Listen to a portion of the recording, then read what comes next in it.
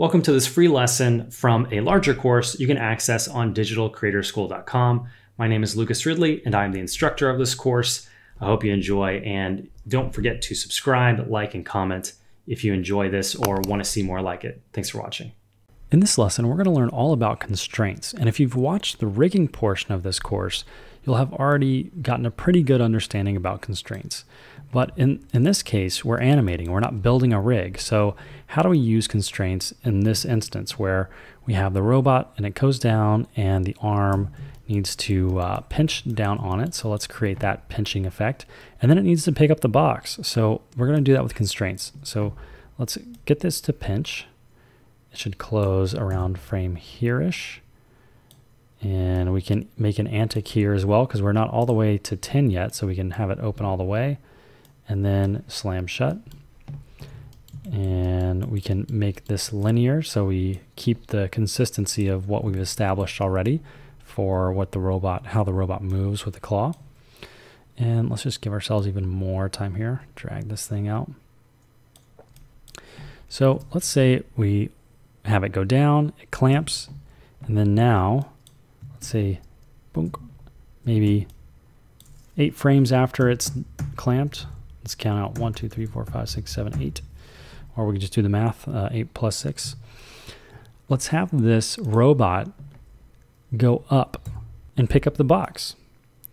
So let's have it go up. And I think it, it should go up slower because now it has a little weight. So we'll drag it up and let's compare the kind of Y translation motion. We can see it is slower, you know, this would be super slow, right? This slope is longer and not as steep. And uh, so we want it to just be slightly slower than it was before. And we could even, uh, because these are weighted tangents now, we could actually middle mouse drag this out so it has a really slow start, right? We could drag this super out like this. So now it'll have a, a, a pretty slow start. Yeah, I like that. So now the only problem is the fact that the box isn't going with it. So how do we animate that constraint that we're going to make? Well, it's pretty easy. Now let's find the frame where we can kind of set this. You basically need to choose one frame and it needs to match, you know, where the box is going to exist on the thing it's constrained to right? We don't want to constrain the box to this and it's not on it, right? It needs to be where it's going to be when we constrain it. Um, so let's select this. If we click on the box, let's kind of see how that's set up in the outliner. We go to Windows, let's go to Outliner. So we can see there's a box geo group. And in general, whenever you're constraining things, if there's an opportunity to constrain it to something other than itself in a hierarchy, you always want to go above it.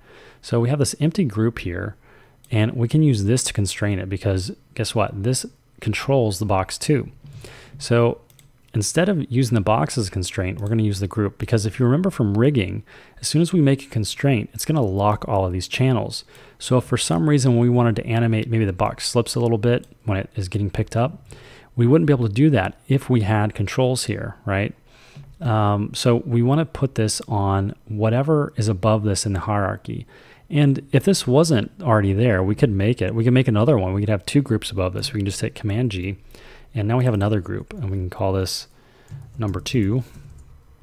And now we have a group within a group. So we can make this hierarchy for ourselves uh, if we want to. This is what's important about having a little bit of a technical knowledge, even as an animator, because there might be instances where you need to create your own tiny little rigs, even if it's just like an empty group there above a piece of geometry.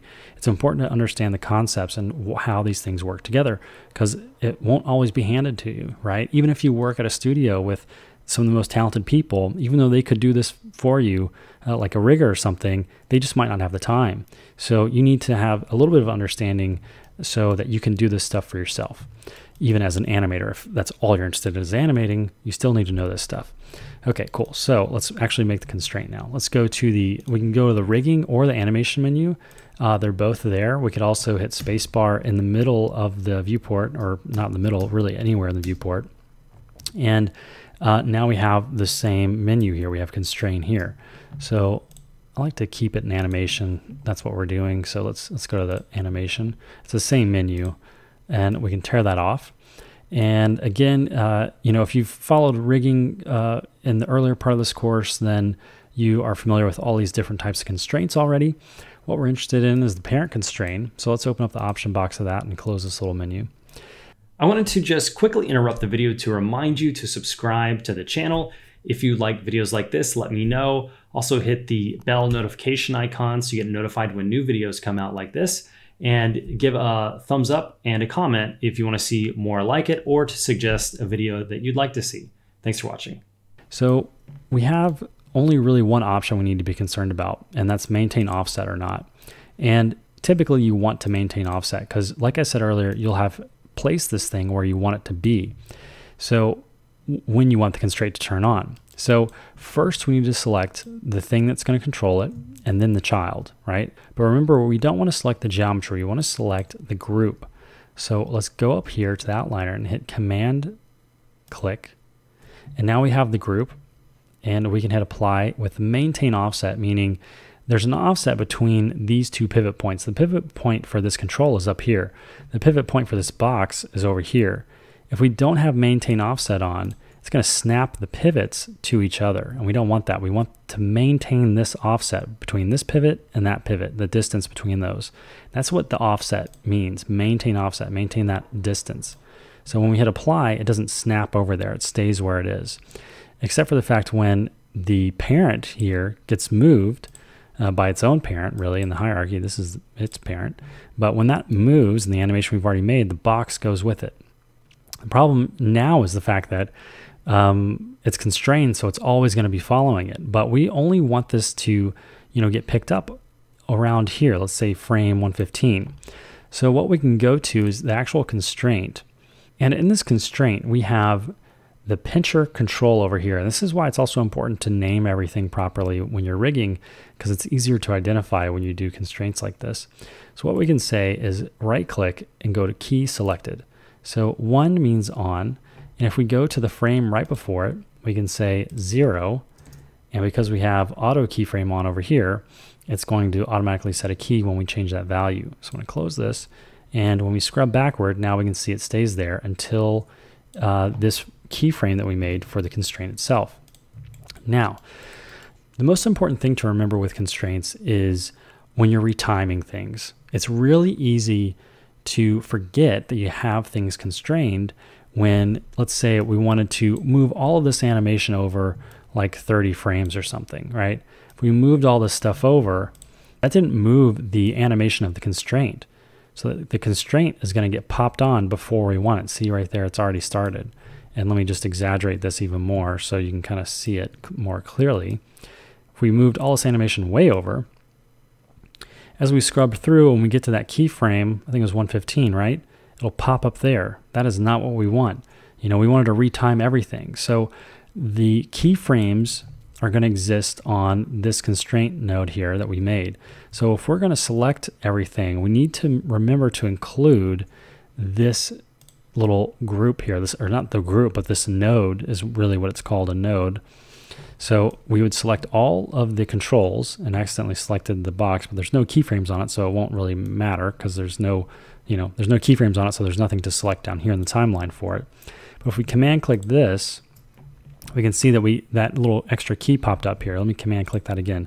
Look at frame 115 and boop, we can see now there's that frame and we know it's selected. So if I click and retime this whole thing, I'm to slide it over here. Again, we can see that when we scrub, it is actually still following along. Cool. So in this lesson, we've learned about constraints and how to have things, you know, follow something else that we already have animated or animating to. So definitely, I would encourage you to have fun with this. If you're kind of bored with this example and you want to make it more interesting, then I challenge you to make to make it more interesting. You know, when you look at this animation and you're always kind of evaluating, okay, this looks boring and I don't really know why. Start asking yourself questions. Well, what could I do, right? What could I do to make this more interesting? Well, I can, I can tell you for this example, you could, you know, the, the path of motion which is another, it's not really a principle of animation, it's, it's more of a concept. Um, but there's this path of the motion. The path of motion we've created for this thing is very linear, meaning it's very straight, right? It's a straight line. And it goes from point A to point B. Well, what I think would be more interesting would be, you know, take advantage of the fact this is 3D. Always think, am I taking advantage of the fact that this is 3D? If you're not, then you might as well be drawing this with a pencil and paper, right? But for for us, we could move this thing in three dimensions. It could be over here, and the antic could be, you know, whatever it is. We could rotate this thing. The antic could be a rotation thing, right?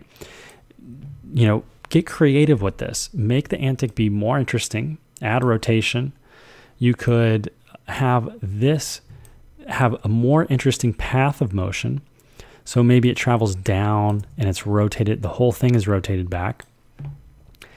And then it goes up. Look at that. That's already more interesting. But again, we need to remember how we've set up all of these uh, animations. You can see down here, if we go to translate Y, this didn't really like that. We didn't have a keyframe over here. So let's hit S, and we can bring this back up to the level that we need it to be at to, to uh, kind of have the tail to settle.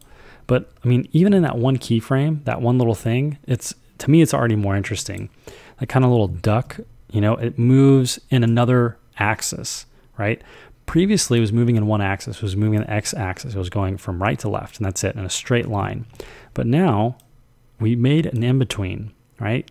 In between two keyframes, we added a key and, we, and it added some interest here, right?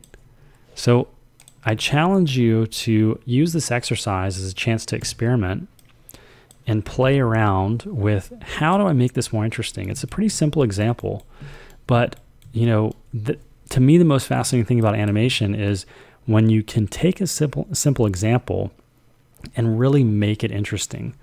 And that will get people's attention, right? Their expectations you know, when they see something simple, uh, like a, a, little robot like this, it might be not very high. But if you if you do something pretty interesting with it, um, that's what grabs people's attentions, right? So even something, you know, we took two seconds here and added, you know, one or two little keyframes, and it already looks more interesting. And what I would do is, uh, you know, of course, add an overshoot to this. You know, it hits this wall here, it goes pop, and it just pops right there. So now that we added this up and down motion, we should probably add an overshoot vertically here. So let's bring this up and over a little bit. And then I'm just going to middle mouse drag this key over here and set a key. So I basically copy and paste it with that. So uh, that looks super wonky. I think the, the Y translates messed up. Yeah, let's just bring that back. So we have a little bit of a uh, settle there. But anyway, you get the idea. Use these principles and these concepts, make this your own, okay? And in the next lesson, we'll continue learning animation and some more advanced concepts and practices and exercises. All right, thanks for watching. Bye. Thanks for watching this free lesson. If you want to see the entire course, you can become a member at digitalcreatorschool.com to get the course in its entirety, as well as all the courses available on the website, in addition to all future courses that will be published. As a monthly or annual member, you can cancel anytime. I will see you there. And don't forget to subscribe, like, and hit the bell notification icons, as well as leave me a comment if you want to see more videos like this, or if you have a suggestion for a video you'd like to see in the future. Thanks for watching.